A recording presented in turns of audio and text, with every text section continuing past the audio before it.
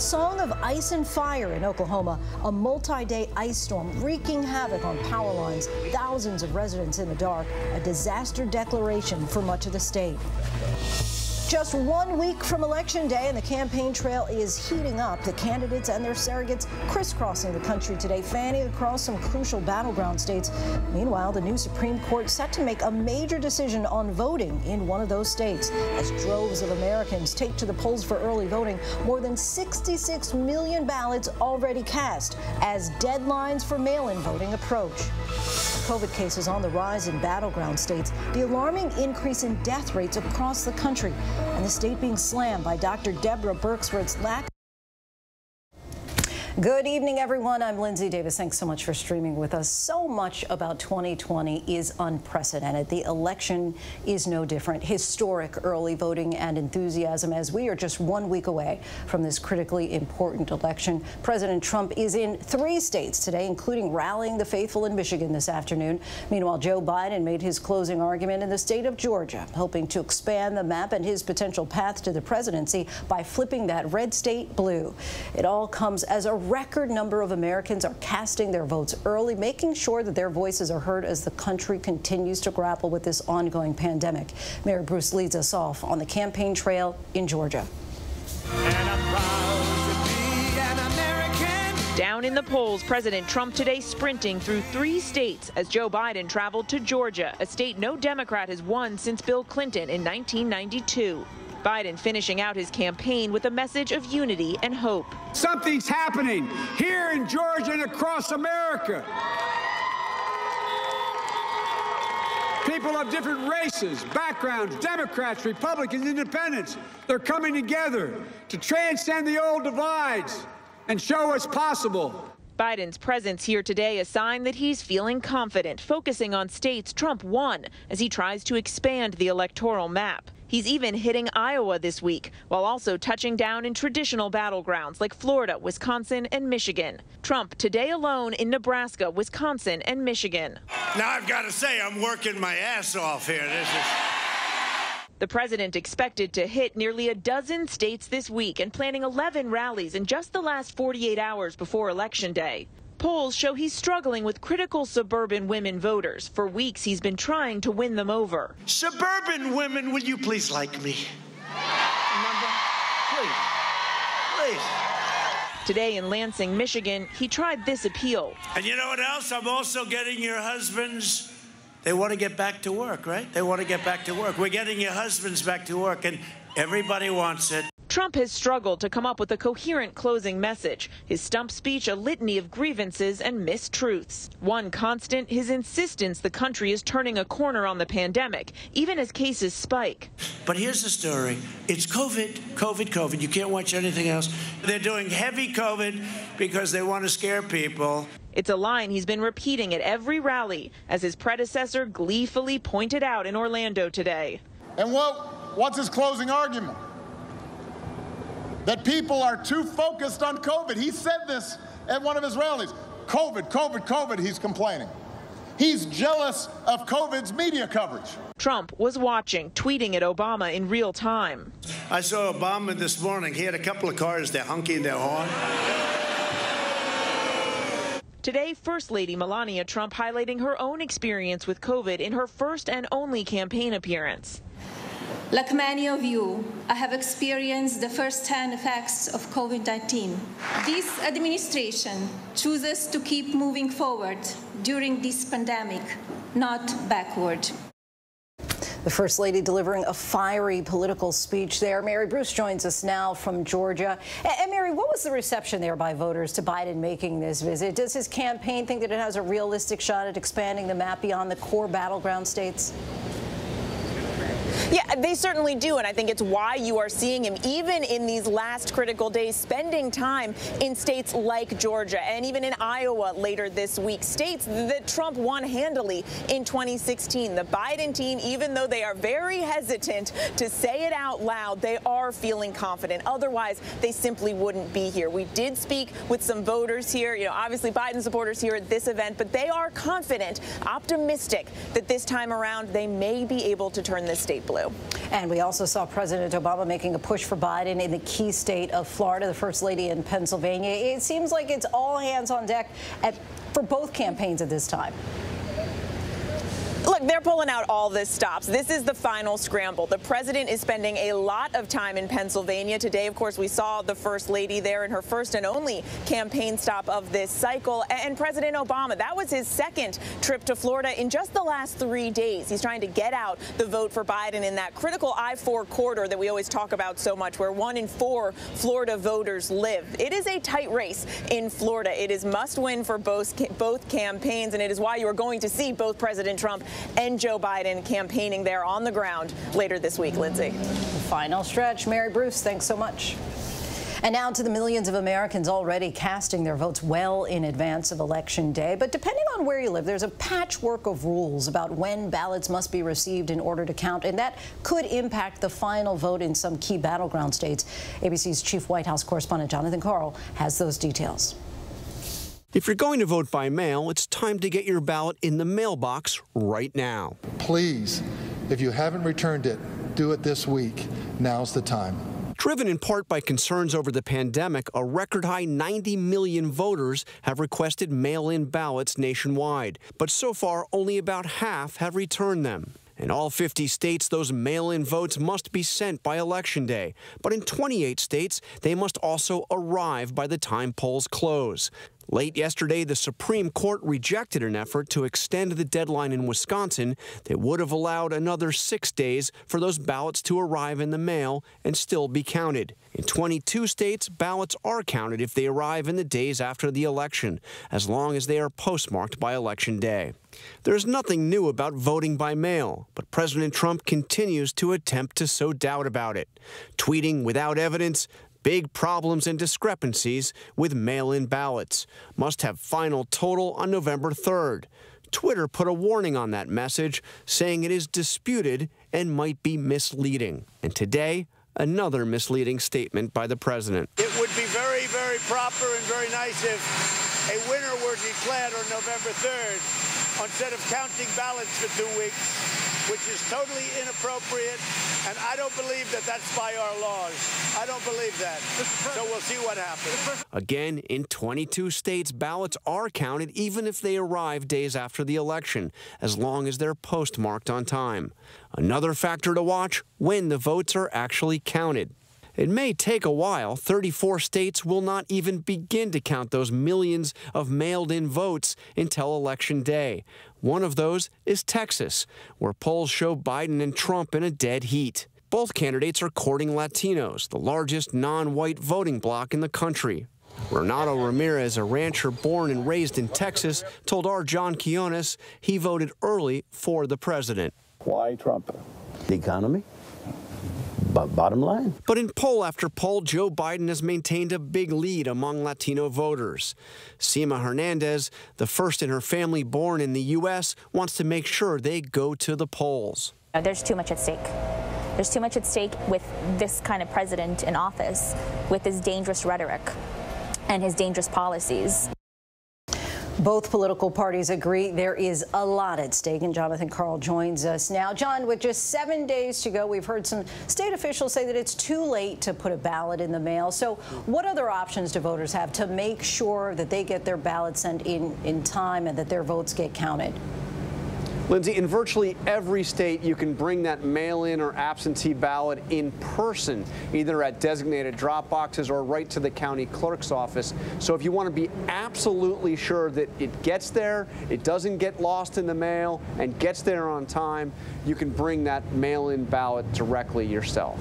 And, John, also, let's just reiterate that the president's claim that we have to know the final vote on election day is just not accurate. So what should Americans expect on election night this year?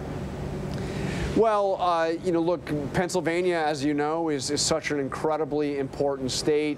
You could be critical to determining who is going to win. If we're waiting for Pennsylvania, we could be waiting for days. Uh, Pennsylvania doesn't even begin counting those mail-in votes until Election Day. They've got to go and compare signatures, go through a whole process. It could take some time. Uh, if it's a, a one-sided race, one way or the other, you may have a very clear indication who is going to win election night, uh, but it looks looks less likely that we will have a declared winner on election night. I just have to wait and see. Jonathan Karl, thanks so much. Thanks, Linsey. And now to tonight's Ballot Watch. After President Trump's campaign stop in Michigan today, we are joined now by Michigan Secretary of State Jocelyn Benson. Thanks so much for joining us, especially during this busy time. My pleasure. Thanks for having me. So, first, give us a sense on where your state stands on early and absentee voting and any trends that you're seeing on turnout. For example, Democrats nationally are saying that younger voters are really coming out. Have you seen that or any increase in minority participation in areas like Detroit that saw a drop four years ago from prior elections? Yes, I mean, number one, we've just seen voter enthusiasm and, and, engagement off the charts. More people are on track to vote than ever before in our state, and already more people have voted early than ever before. 2.2 million citizens have returned their absentee ballots one week prior to the polls close, and another 1.3 million have requested ballots and have yet to be returned. So we're uh, really enthused by the number of people who are engaged this year all across the state, and we're certainly seeing those numbers among young our younger voters as well. In fact, a significant majority of the newer registered voters are between the ages of 18 and 20, which is also just a great thing to see for the future of our democracy. Now, in Michigan, all ballots have to be turned in by Election Day in order to be counted. Given the delays reported in the Postal Service, would you say that, in your estimation, it's too late to trust putting a ballot in the mail at this point? If so, what's your advice to voters still holding their absentee ballots on the best ways to return it on time? I think you just said, what is it, 1.3 million have not yet returned those ballots. Right. And we're telling everyone if you've got a ballot, return it either at your local drop box, and we've installed over a thousand secure local drop boxes all around the state, or at your local clerk's office. Just get it in by 8 p.m. on election day. Uh, and we're seeing people respond to that, uh, not just in Michigan, but all across the country. It's now important to return your ballots in person. Don't rely on the mail, regardless of what state you're in. Get your ballots in by your state's deadline. And for those who do plan to vote actually in person, are you confident that your state is prepared to run polling places smoothly on election day despite the pandemic? And also, what kinds of processes have you put into place to make sure that everyone who wants to vote in person will be able to do so? Yes, certainly. We're ready for election day voting as well. And we've been preparing for that even in the midst of this pandemic since COVID 19 came to Michigan back in March. This, importantly, will be our fourth election in Michigan this year. And we have it set up so that if voters choose to vote in person, they can be assured they'll be met with poll workers with masks and gloves and sneeze guards and hand sanitizer. All social distancing protocols will be followed as well. We've recruited over 30,000 new election workers to be ready to go, including a standby reserve group of 1,000 to ensure ensure our precincts are fully staffed. Uh, and by getting so many people, in fact, we estimate two thirds of our voters will be voting prior to election day. That means for the one third remaining to vote on election day, they can anticipate smooth sailing, no lines, no crowds, uh, and a great experience at the polls as well. And now the president has called for his supporters to serve as poll watchers on election day. What's being done to keep voters safe from any potential voter intimidation, especially in the wake of the plot against Governor Whitmer and your state's history with militias? Well, as the state's chief election officer, I do take very seriously my responsibility and authority to protect not just the health and safety of our voters at the polls, but the security as well. Uh, and so we've you know, issued several uh, directives to our clerks and our poll workers to know what to do if you see voter intimidation. We've been working with law enforcement to also protect the sanctity of the polling place. And we'll also have people throughout the state on the ground ready to respond if things occur because we want to keep those precincts as calm, as sacred as possible possible. The president falsely tweeted last night that we must have a final vote total on election night. You quickly responded back on Twitter, nope, wrong again. Candidates don't get to decide when results are announced. Election administrators do. So how much of the vote do you expect to get counted by election night? And any concern at all that not having a final vote for several days could potentially lead to legal challenges if the race is closely contested? Well, my priority is making sure that every valid ballot counts. We anticipate probably over 3 million ballots will have been submitted early. Uh, we will begin counting them on election day, and it is going to take time to work through all of that. And that's what we should want. We should want uh, secure protocols in place, methodical uh, counting to ensure accurate results. And I'm confident that uh, both will maintain transparency from the moment the polls close to the moment we have that full tabulation to update the public about what's actually happening so that they can be confident in the results. One more question, just want to sneak in here. Of course, we've been interviewing several secretaries of state, and, and I've been just asking what keeps you up at night, if anything, as it applies to this election? Well, certainly the biggest variable is misinformation. And we've done an incredible amount of investment in educating our voters to not just know their rights and their options to vote this year, but to be prepared to counter disinformation or misinformation if it hits their communities. We've had robocalls, we have had false text messages, and various other things designed to confuse voters about their rights. And the really gratifying thing is that voters are responding by, res by reporting that misinformation to myself and the Attorney General so that we can investigate and hold accountable those who would seek to sow seeds of doubt falsely amongst our voters about their rights. It certainly does keep me up at night because we want to make sure we're always out in front, on top of it, and responding to it as quickly as possible so that no voter is disenfranchised based on misinformation or disinformation. And we see your necklace there, VOTE. Michigan Secretary of State Jocelyn Benson, thanks so much for your time. Thanks for having me. And of course, ABC News is your home for live coverage on election night with our powerhouse political team. Our coverage starts at 7 p.m. Eastern on November 3rd, one week from tonight. We turn now to the unrest in Philadelphia over a deadly shooting of a black man allegedly armed with a knife. The man's family says that he was having a mental health crisis and that they called for an ambulance, not the police. Dozens have subsequently been arrested in the protests and at least 30 officers have been injured. ABC's Eva Pilgrim has the latest. Tonight, turmoil in Philadelphia, anger spilling into the streets over the death of Walter Wallace Jr., allegedly armed with a knife, shot by police. Crowds clashing with authorities. 30 officers injured. This video shows a pickup plowing into one.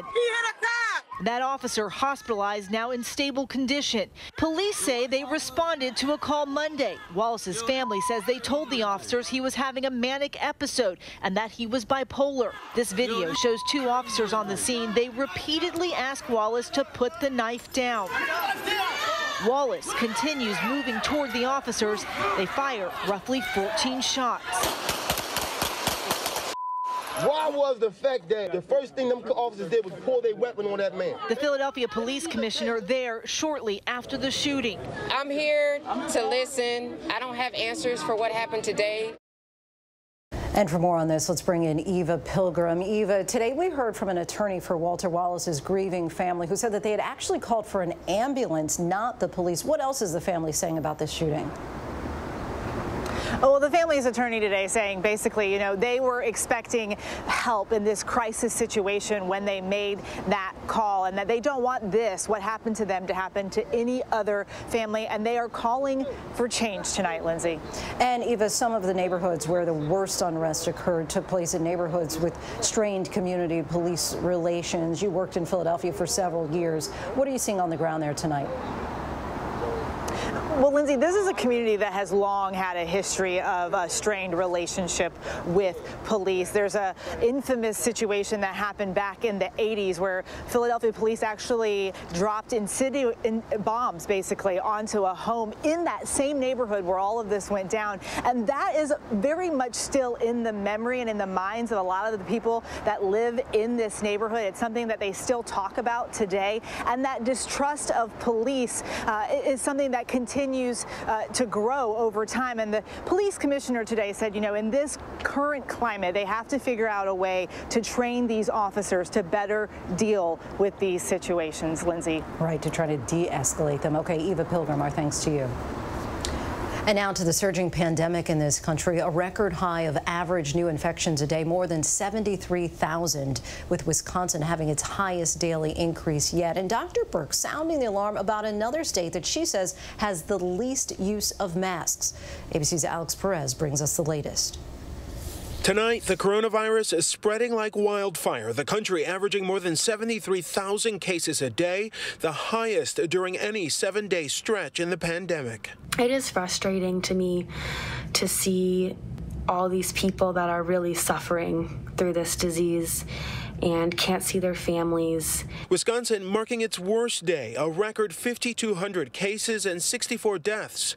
Deaths from COVID are now climbing in 29 states. In El Paso, doctors are also worried about losing patients without COVID because hospitals are overwhelmed. This is a disaster. People are going to start dying. As a matter of fact, they started dying already, not because they have the COVID, but because the COVID has impaired the ability to deliver care. In Philadelphia, cases soaring to levels not seen since May. City officials urging residents to cancel holiday plans. Family gatherings right now are simply very dangerous. The highest the COVID case rate per capita, North Dakota. Dr. Deborah Birx in Bismarck calling out residents. This is the least use of masks that we have seen in retail establishments of any place we have been.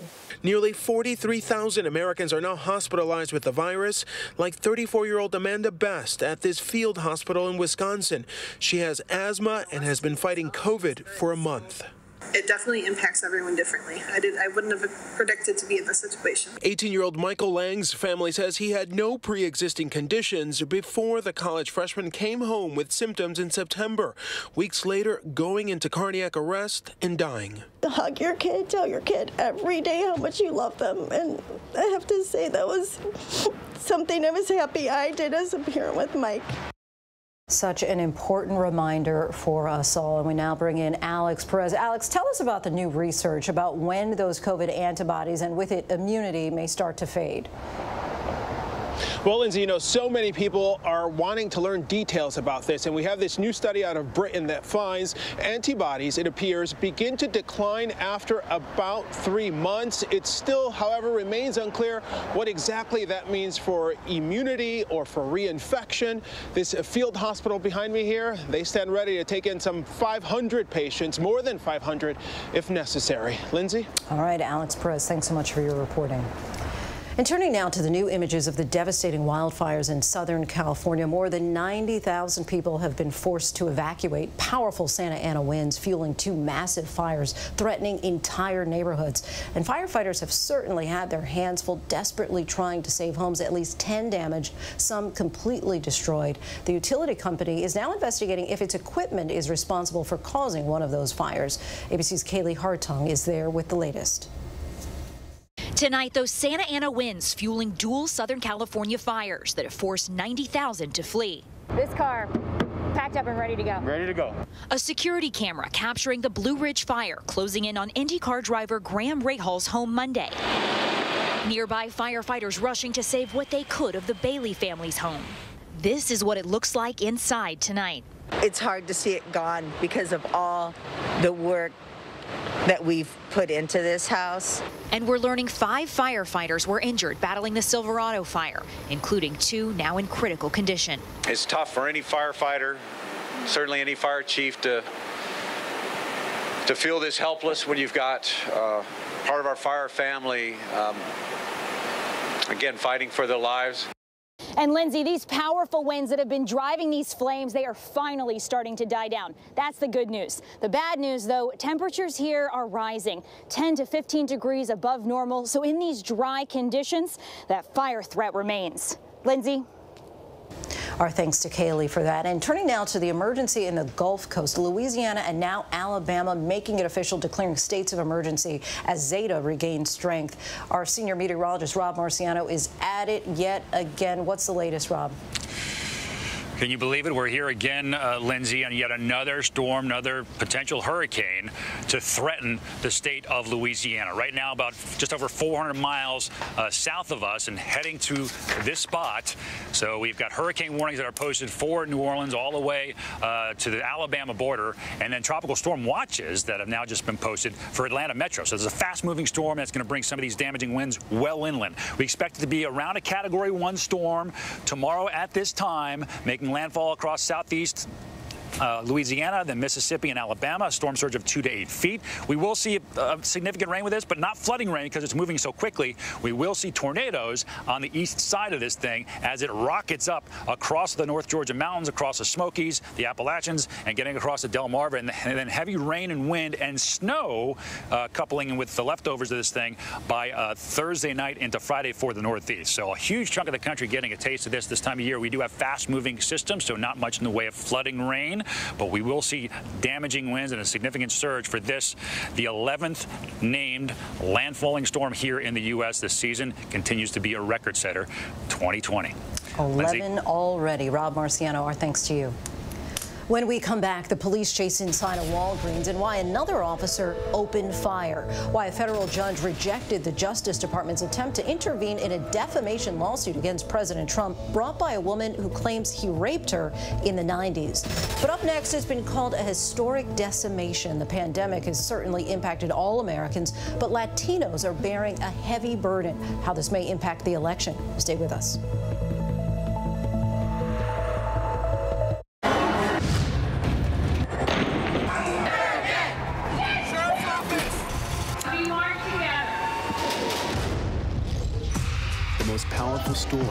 Time, anytime. Nightline. Your mom said, comb your hair. Your dad told you, smarten up. Your dog is judging you right now. And your best friend just called you crazy. We all need someone who'll pull no punches and give it to us straight. Now imagine getting your news like that. No bull, no spin, just give it to me straight. Straightforward news, straight to the heart of the story. ABC News, straightforward. The Americans here on the ground and the Iraqis. 18,000 tons. Patatas. Ismail? David. David. For ground zero from Hurricane Michael. You can see just home after home. David, nice to meet you. This was your view. My favorite view. Thank you very much. Thank you. I know what happened, and I'm not guilty. Why the fascination with criminal trials?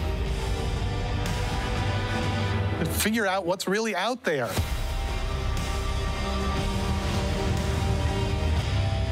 It was a spectacle. Aunt Becky on a perp walk. That's wild. These wealthy parents tried to rig the college game, but in the end, they would be the ones getting schooled. Operation Varsity Blues. 75,000 to get any test scores you would like to get. Sounds like a deal to me. So, think you know everything about this crazy story? Don't be so sure. Their mouths just dropped open. I'm Whoopi Goldberg. This is The Con. Buckle up. Wednesday night on ABC. Stop. Get on the ground. Stop. Take a look at this dramatic scene captured by a body camera being worn by a police officer inside a Walgreens in Modesto, California. The officer chased a suspect up and down the aisles before he fell to the ground. The suspect appeared to have a gun, and that's when another officer opened fire. The suspect was later arrested and treated for a minor wound.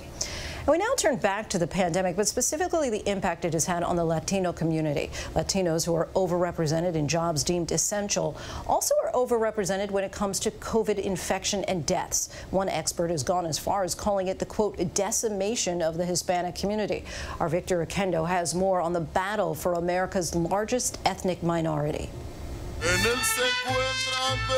The sounds of the mariachi are unmistakable.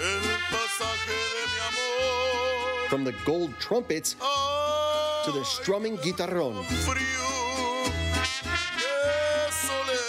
But today, the music that so often marks life's joyful moments at weddings and quinceañeras is playing at this funeral mass. We are here to say farewell to the loved ones who lost the battles against COVID 19. The people here, a tight knit community of Mexican immigrants from Chinantla, Puebla, honoring loved ones that never received a proper goodbye. When they hear our notes and our songs, our lyrics, you know, we want them to feel that they're in Mexico, that their there with their families, you know, connect them in some kind of way. Their photos, a reminder of lives cut short from a disease that has ravaged communities like this one. According to the CDC, Latinos are dying at a disproportionately high rate from COVID 19. A recent analysis of more than 114,000 COVID related deaths between May and August found 24% were Hispanic or Latino, despite being only 18% of the U.S. population. Paula Felipe Ramos. Lucero Martinez Felipe has waited six months for this day. Her mother Paula died on April 16th, just three weeks after getting sick with COVID 19. I miss her and I needed to find certain peace in myself. And I think today I was able to actually feel peace for the first time since the day of her passing. At the time, cases of the coronavirus growing exponentially in New York City, quickly becoming the epicenter of the global pandemic. The COVID 19 outbreak becoming a top issue for Latino voters. I think I always knew who I would not vote for, and it definitely won't be for the one that just stood there and watched it happen and didn't do much to help us. Dr. Peter Hotez, one of the world's leading experts on vaccines, is growing more alarmed by the data. What we're seeing really is historic decimation uh, among the Hispanic community by this virus. From the Rio Grande Valley to the big cities, a troubling pattern emerging throughout the nation. Elizabeth Romero saw COVID 19 sweep through her Long Beach community. I was like, we're strong, we're young, we're healthy. We could get through this. I never knew it was going to take my husband away. Elizabeth was on the phone with her husband Jose, who was in the hospital bed when he suddenly went into cardiac arrest. 45 minutes I was on the phone. They tried 45 minutes to bring him back. And I'm like, no, not my husband, he cannot be gone. Why are Latino communities getting hit so hard by this pandemic? We are essential workers, much more likely to be essential workers. We have to be out there. In the, in the pandemic, some of them had to take public transportation. There was no choice. Also, many of us live in more crowded housing, places of higher social density. All those things have been a major issue why Latinos are at higher risk. Dr. Olvin Carrasquillo, a Puerto Rican native and chief of internal medicine at the University of Miami Health System, is determined to help his community. He's leading one of the clinical trials for the Johnson & Johnson COVID-19 vaccine and is calling for more diverse participants. We need more minorities, both Latino, African American, to participate in these studies. We need to make sure these vaccines work on our people. He says health disparities among Latinos are compounded by one's immigration status and lack of health care coverage. You see these young persons uh, with immigration issues that really didn't want to come. They worked down in the fields in Homestead. They came in really sick with extremely low oxygenation status. And you could tell, you saw the fear in their eyes. Homestead, Florida, just 40 miles south of Miami's famous beaches and nightlife, where these farm workers toil in extreme heat harvesting food we have to kind of start changing our mentality and thinking, you know, the farm workers that feed us, maybe they need to come first. They have to be the first in line to get the resources and the help that they need. And with the temperatures cooling, more families are expected to hunker down together indoors. The nation's top infectious disease specialist, Dr. Anthony Fauci, warning that the number of deaths could grow to 400,000 if precautions aren't taken this fall and winter.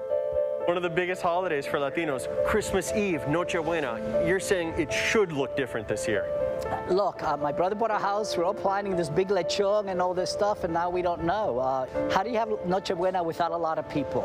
If you ask me right now, that's what I would recommend. Small event, especially if I had older people in my family, which we all do. You know, there's no way I would want my mom to be in a social setting with 30 people. That's just not what I would want. As hard as it is for us. And you can see more of Victor's report tonight, along with other stories highlighting the issues facing the Latino community as we head into Election Day right after this show as part of an hour-long ABC News Live special, America's Future, the Power of the Latino Vote, anchored by my friends Tom Llamas, Cecilia Vega, and John Quiñones. Still ahead here on Prime, prosecutors accuse this cult leader of branding his victims, sexually exploiting and treating them as slaves. Today he learned how much jail time he'll serve.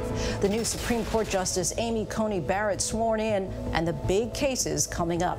And we take a closer look at those early voting numbers and the rising influence of the Latino vote. But first, our tweet of the day love is in the air. Congratulations to Blake Shelton and Gwen Stefani.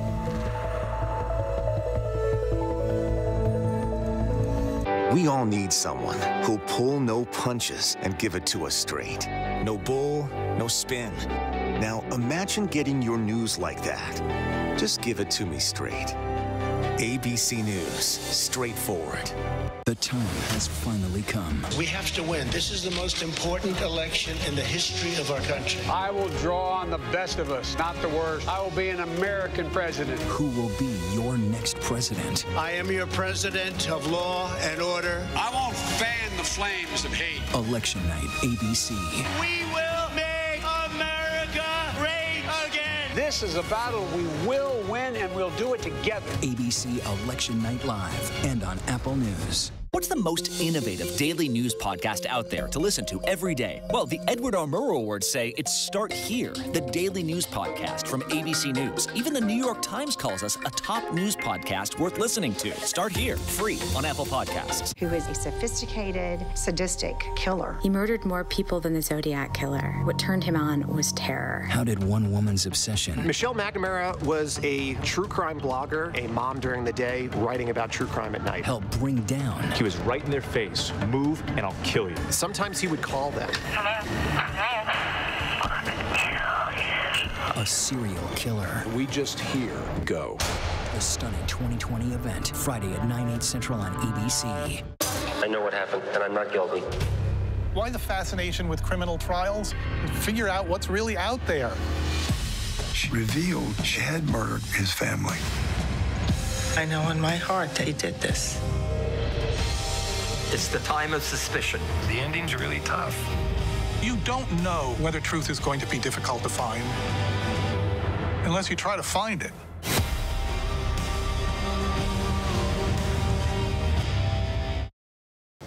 Welcome back, everyone. Tonight we take a look at the growing power of the Latino vote in America in this election and heading into the future by the numbers. A record 32 million Hispanic Americans are eligible to vote in 2020, according to Pew Research projections. That's 13% of all eligible U.S. voters. And for the first time in American history, it exceeds the number of black eligible voters in a presidential election. With still a week to go, 4.3 million Latinos have already voted in this election, and these votes make up 7. 4% of the total early vote, according to Target Smart, a Democratic data firm. The Latino early vote has already surpassed the 2.1 million Latinos who voted early in 2016. And in the key battleground state of Florida, 915,662 Latinos have already voted. That's more than 15% of the state's total early vote.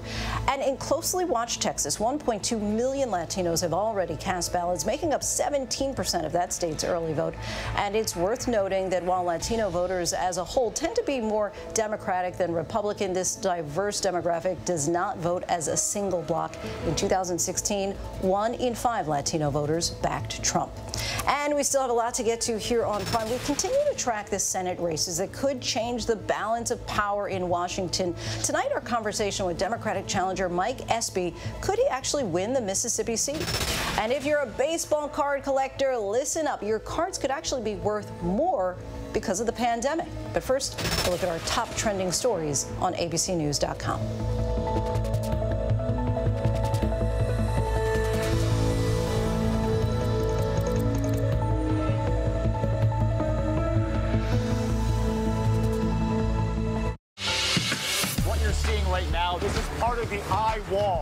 procession of migrants goes back two miles. There is going to be catastrophic damage. This fire has made a run. You can see those flames shooting up into the sky. We are on the jam-packed red carpet. To the right, guys. So this is the fourth weekend of protest.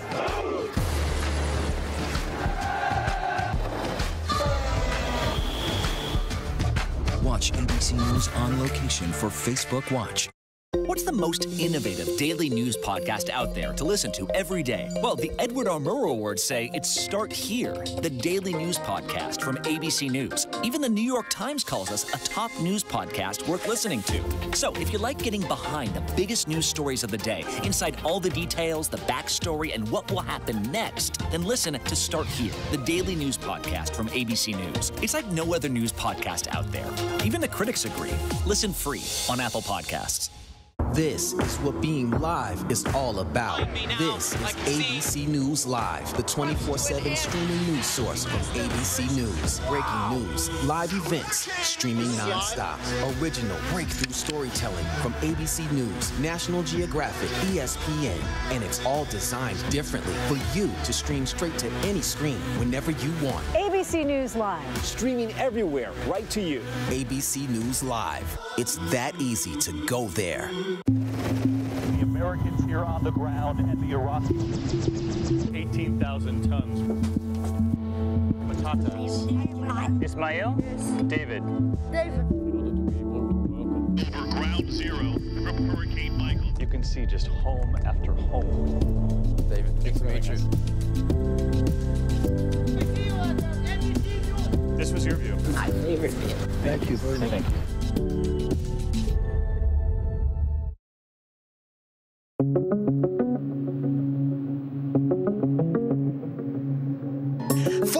President Joe Biden spending an entire day in Georgia, a state no Democrat has won in nearly 30 years. I know we can unite and heal this nation. The state is one of six battlegrounds Biden is expected to campaign in this week in an effort to flip votes President Trump won in 2016. President Trump also hitting the campaign trail hard, planning to stump in nearly a dozen states this week. We're going to have a great red wave people that want to go out and vote, vote. With 11 rallies scheduled in the final 48 hours before Election Day, Biden and his surrogates continue to hammer President Trump on his pandemic response. COVID, COVID, COVID, he's complaining. He's jealous of COVID's media coverage. Trump defending himself before heading to his first campaign stop of the day. One of the things we've done a really good job on is COVID. We would have millions of people dead. Justice Amy Coney Barrett sworn in today at a private judicial oath ceremony and ready to take to the bench of the Supreme Court.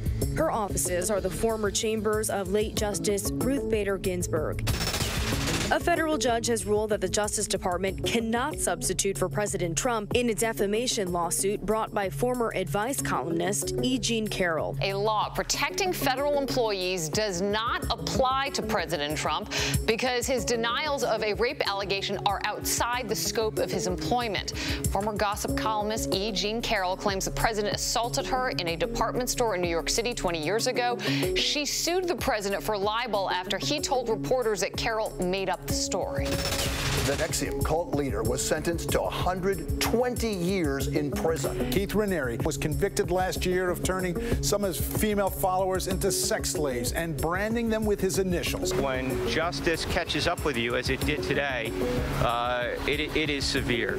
Uh, Keith Raniere will not be able to uh, to victimize people anymore uh, after today's sentence, and we're, we're very grateful for that. Throughout it all, even through today, Raniere acknowledges that he is an interesting and controversial and unconventional person, but in a recently released podcast from behind bars, he also claimed he's something else innocent.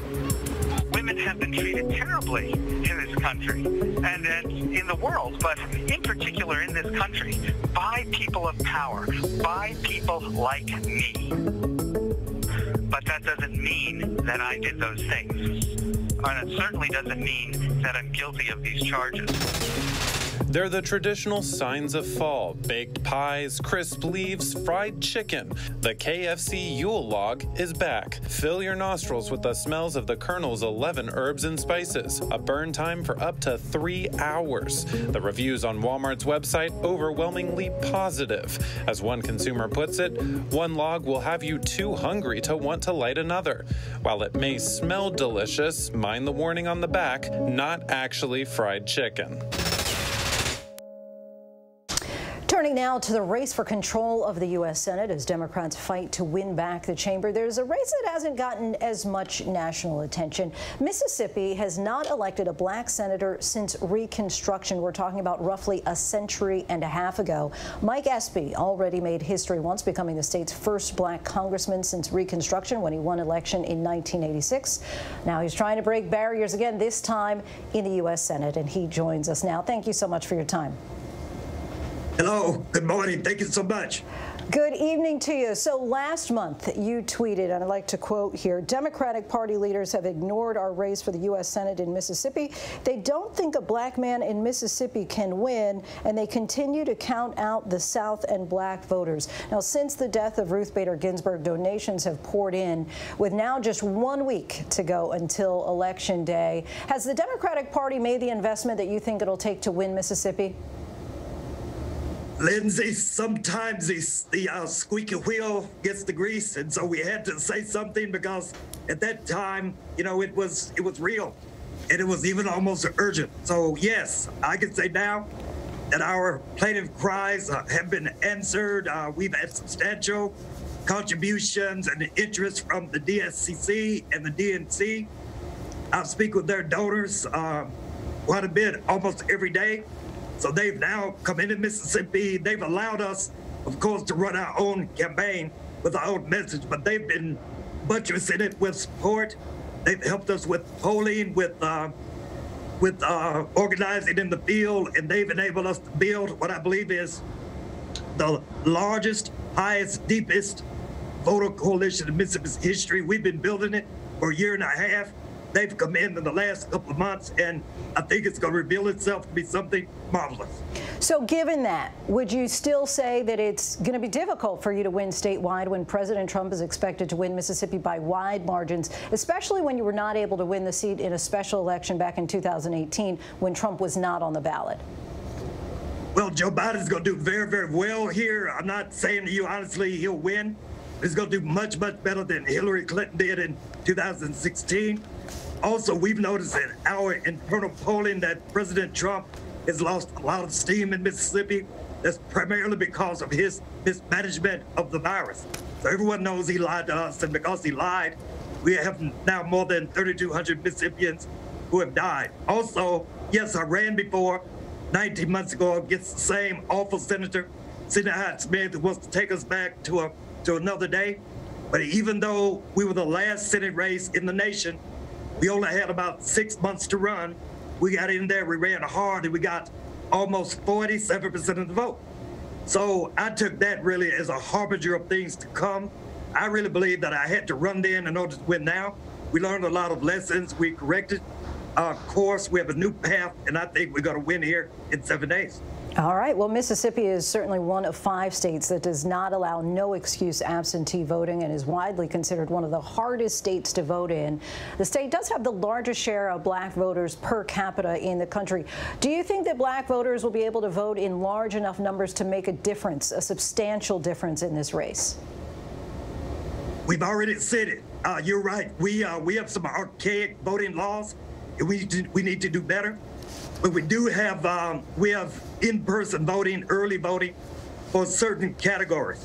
Those who are 65 of age or older, those who are disabled, and those who can prove that they won't be at home on November 3rd. So we've just been watching, and I've been very impressed with the long lines of voters, uh, many, many, many of them African American voters who are, who are going to vote early, who are, who are within those those categories. I want to play for you President Trump's son-in-law, Jared Kushner's comments yesterday about the black community, They're getting a lot of attention. One thing we've seen in a lot of the, the, the, the black community, which is mostly Democrat, is that uh, President Trump's policies are the policies that can help people break out of the problems that they're complaining about, but he can't want them to be successful more than they want to be successful. What's your response to that, and what do you say to a white voter in Mississippi who agrees with his statement? Uh, I can say that he's wrong and they're wrong. You know, it's uh, it's an awful thing to say. Uh, Linsey, I'm the chairman of the board of a $400 million nonprofit. I've been on that board for 25 years, and we have a mission function. We go into low-income areas in the Mid-South, Mississippi, Alabama, Louisiana, Tennessee, and uh, Arkansas, and we fund first-time homes for, for those who've never owned a home before. We fund businesses that are viable. We build medical clinics. So what I'm saying to you is that uh, we work in these low-income, low-income communities. Majority of them are African American. So uh, what Jared Kushner said is um, is uh, is awful. You know, I've got I've got stronger words for it, but I'm gonna I'm gonna stop there. uh, just by virtue of fact, I've seen people wanting to lift themselves up, uh, coming into my uh, financial organization, my nonprofit, $2,400 million. I know they want better. They want better credit and uh, they want an opportunity. If they get an opportunity, they're going to seize it and they're going to lift themselves. Tell Jared Kushner he's a lie, and uh, and so are the others who believe that way. And finally, you are one of five black candidates for Senate running in the South this election season, where voters have only elected one black senator since the 1860s, talking, of course, about Republican Tim Scott in South Carolina. What do you anticipate your reaction would be if none of you are able to break through with a win, especially after this year's alleged reckoning on race and social justice? Well, I don't think that's going to happen, to be honest, but you did ask the question. If that happens, we'll just have to keep on building. I ran before 19 months ago, and again, I got 47% of the vote, even though we had six months to run. So, you know, in the South, we had suffered from a legacy of disinvestment. If we had had uh, 20, 30 million dollars coming into Mississippi uh, 10 years ago, we would have uh, better data. We would have a better political infrastructure. We'd have a stronger bench. So what we're doing now is um, is um, filling that vacuum. Candidates, uh, candidacies like mine and candidate campaigns like ours, we're doing the hard work. We're building the bridge that I can cross over and others behind me and so forth. So we're doing the hard work and we'll continue to do that. And uh, but I don't think that the uh, what you just said are, are just um, imagine what happened. I think we're going to do very, very well in seven days. All right, it is the final stretch. Mike Espy, we thank you so much for your time. Thank you so much. And when we come back, we are talking baseball, baseball cards, that is. The hobby that spanned generations is seeing a resurgence in recent years. We'll find out what's behind the card collecting comeback when we come back with our political director, Rick Klein, showing us his own impressive collection. Welcome to Disney Plus. Are you ready? Drop in and explore. These are your worlds. Wherever and whenever you want them, you'll find them all here on Disney Plus. Cross my office off the list. What if we pick for each other? Please stop.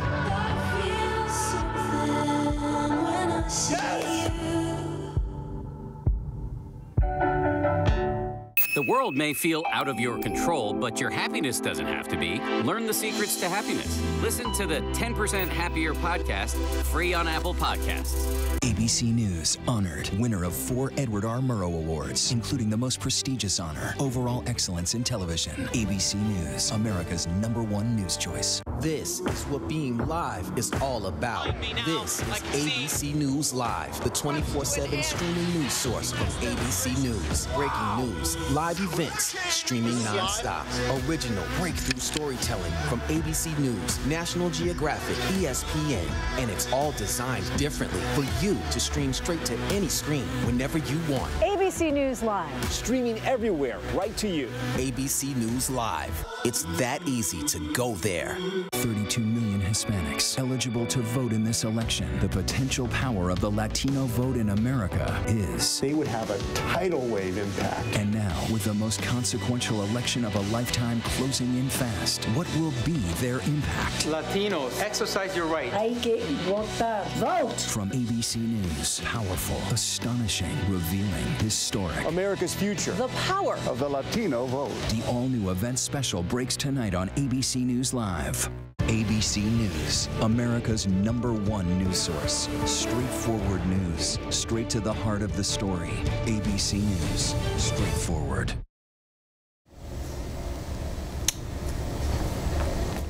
Welcome back, everybody. This spring was certainly a long one for many of us, especially for sports fans. The pandemic bringing the entire sports world to a complete halt. It's also crushed many businesses, but the business of sports card collecting is on the rise once again, especially in the age of COVID. So we wanted to find out what's behind the card comeback. And, and we got some help from our own political director, Rick Klein, who took a little time to share his impressive collection as well as his knowledge and love of the hobby. These are some of my treasures accumulated over, over many years of collecting. You might have binders, boxes, or even an entire room. Lou Gehrig, Joe DiMaggio, Babe Ruth. For many, they're relics of a bygone era. But sports card collecting is having a moment and becoming even more popular during the COVID 19 pandemic. It brought people back to collecting to try and do something that is safe, that they can do at their home, they don't have to travel for. Shops like Sports Card Junction in Pittsburgh have been busier than ever. Business has absolutely exploded. So there, there's a lot of fresh faces that we're seeing. Honestly, daily we see new people in our store. It's certainly not a new hobby. This one's from 1887, the best player of the of the 19th century. Card collecting exploded among the baby boomer generation in the 50s and 60s. And then again, a couple decades later, when those boomers and their children started collecting in the 80s and 90s. Companies like Topps, Panini America, and Upper Deck helped sports card trading take off. But with the dawn of the internet age, the business changed, and card collecting became less popular as stores started closing up. Enter 2020, the first time in modern history when all sports were shut down for months due to the pandemic.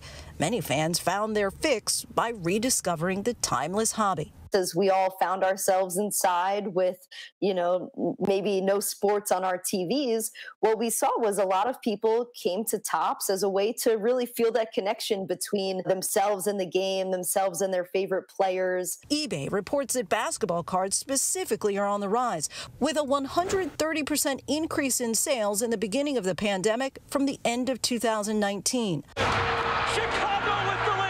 Michael Jordan cards surged just after the release of The Last Dance in April. You had a perfect storm of the Michael Jordan documentary dropping, which that was so nostalgia 90s. Um, and you had kids like, oh man, I remember going in and trying to pull an Isiah Thomas card or Michael Jordan, and they can go back now and see how cool these cards are. But even before COVID 19, the sports card industry had been trending up over the past few years. We were coming off one of the best years in 2019, and so it's really exciting to see that momentum continue into 2020. A growing number starting to see the financial benefits that come with having a valuable card. I literally have people who you know, spend two, three million dollars and never will actually see the cards. They buy it, they ship it off to a safety deposit box, and it stays there until they're ready to sell it. In 2020 alone, two LeBron James cards and a Giannis Antetokounmpo card each sold for more than a million dollars. And a 2009 Mike Trout card sold in August for a record 3.84 million, breaking a record once held by a T206 Honus Wagner card. They're buying it for an investment purpose because they believe it's going to go up but they also are legitimately trophy hunting. You know, Mookie Betts. And there's more to it than just having the cards. Many of the top sellers go through a grading process with companies like PSA and Beckett to make sure their cards are in top condition, with a grade from 1 to 10 driving the value. Now, people don't need to worry about is this real? Is it not real? Is this mint? Is this on a scale of 1 to 10? Is it a 2? Is it a 10? Patrick Mahomes 101. Another reason for renewed interest YouTube and online video platforms. Card buyers pool their money for something called a box break, where you can watch online as those boxes are opened, revealing the cards inside, hoping one of them is a big hit. Hyper Luca. Boom! Gigantic hit in reality, it brought tens of thousands of people into this industry who wouldn't be here if they hadn't bought into breaks. You have fans connecting online, uh, trading with each other in forums, on social media, watching live box breaks on YouTube, you name it. Among the most enthusiastic of card collectors is our very own political director, Rick Klein. That's from the first major Topps issue. Willie Mays, his rookie card, Hank Aaron. Giving us some pointers. If your collection looks like this, you know, these cards like this from the from the 90s or the 80s, you're not a millionaire. Taking us on a tour of his mini museum. What's great about this hobby, the people that I've met, the connections that I've made, um, knowing that this is something that I've done with my brother, with my father, it gives me a connection to a younger version of me, to a sport that I love, to a hobby that I love. A nostalgia inducing hobby rooted in tradition, but still evolving. With today's cards featuring new designs, even including autographs and memorabilia. That's a piece of an Andy Pettitte jersey. You can almost make out the K. It's your pitch. The cards capture distinct moments in time. One of the top selling cards of the year, Dr. Anthony Fauci's opening day first pitch. I think they did him a favor by getting that particular picture. We know where the ball went after that. It was not pretty. That, that, that's, a, that's pretty kind to Anthony Fauci. Not that he doesn't deserve it. So, what is it that keeps us coming back to cards? There's no age limits. You can be a toddler, you can be a 100. Someone who's collecting million dollar cards still has something in common with someone who might only be able to spend $10 on a card. These are some cards of people that I've met and it was able to get autographed in person, like Cal Ripken. The real value is found in more than just the card itself. The persistence of baseball cards in this digital era is something special because at the end of the day, you are just talking about a piece of cardboard. Um, sometimes a flashy, you know, shiny one with, with something something else put in it. But at the end of the day, having that thing and having it mean something, I think, is pretty special. A throwback to yesteryear making a resurgence. Our thanks to Rick Klein. And before we go tonight, our image of the day, and it's a heartwarming one.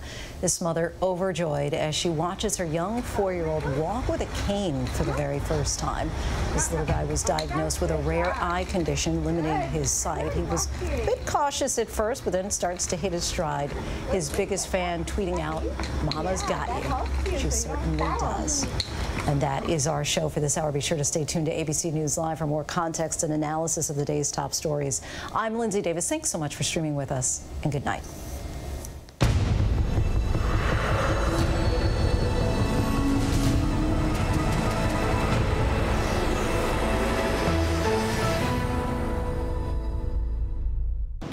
Hola, I'm Alex Perez.